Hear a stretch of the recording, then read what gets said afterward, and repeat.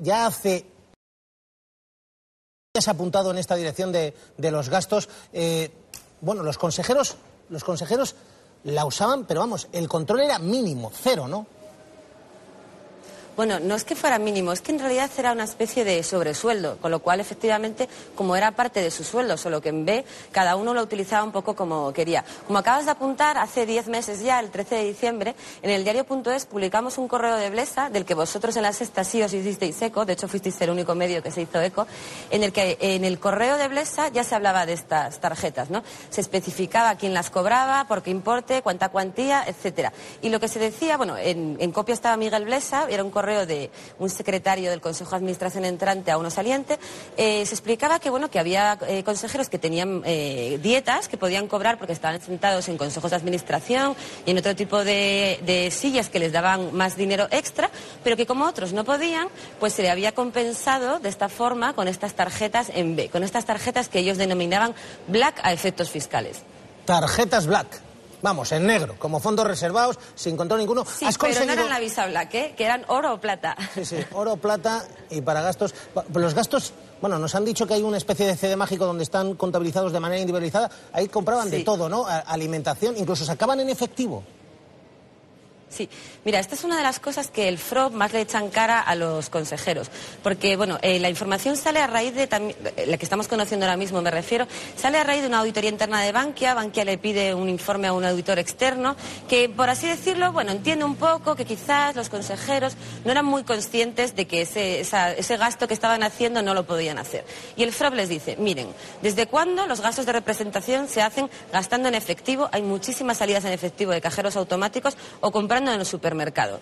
El FROB les viene a decir, no me vengan con cuentos y devuelvan el dinero porque al final lo hemos tenido que poner todos los españoles en el rescate bancario. ¿Has conseguido hablar con algunos de estos consejeros? No sé, ¿cómo te lo han explicado o justificado? Sí. Bueno, he- hemos hablado con bastantes de ellos, ya hablamos en su día, en diciembre del año pasado, porque venían con nombres y apellidos, venían los sindicalistas Paco Vaquerio y Bedi- Bedia, entre los más beneficiados por el montante, que eran 50.000 euros al año. Eh, pero bueno, eh, como has comentado, viene gente del PSOE, del PP, diputados, un montón de gente. Entre los 86, la verdad que hay para todos los gustos.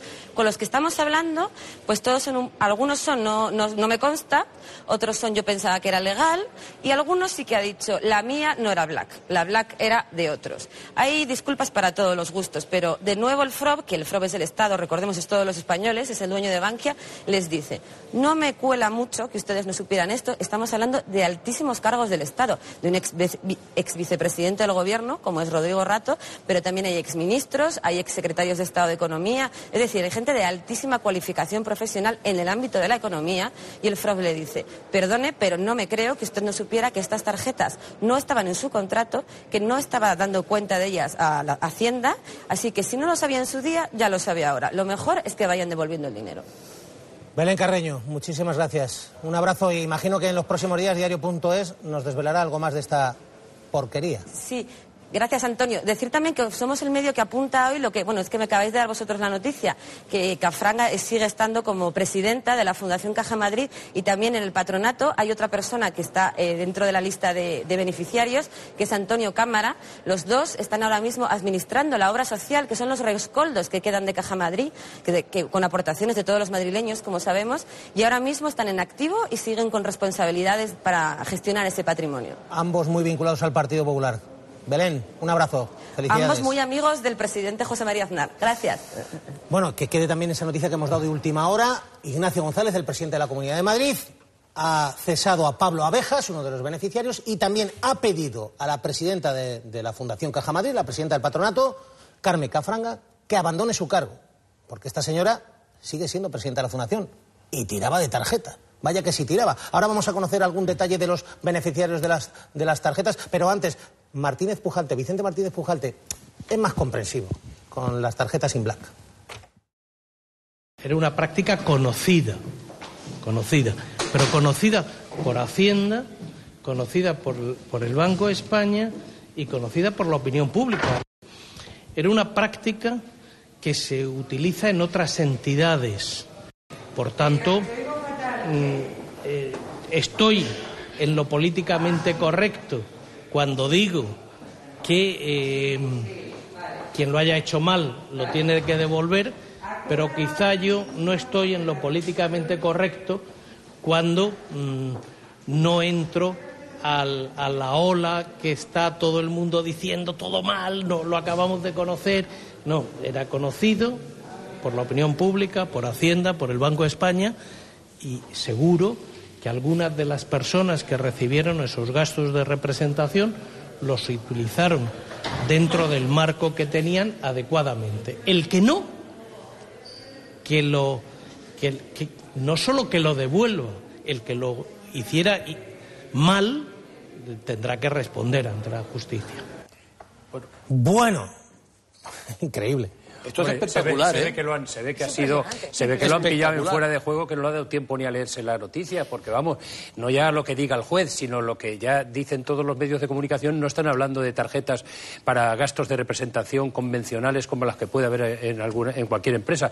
Están hablando de una segunda tarjeta sin nombre, eh, usada exclusivamente para, para como opaca completamente, de la que naturalmente que no, teníamos ninguna noticia en la opinión pública hasta el día de la fecha bestial, ¿eh? Quiero creer que es un error del señor Martínez. No, no, ningún error. No, no, no, no, no, no, no. no.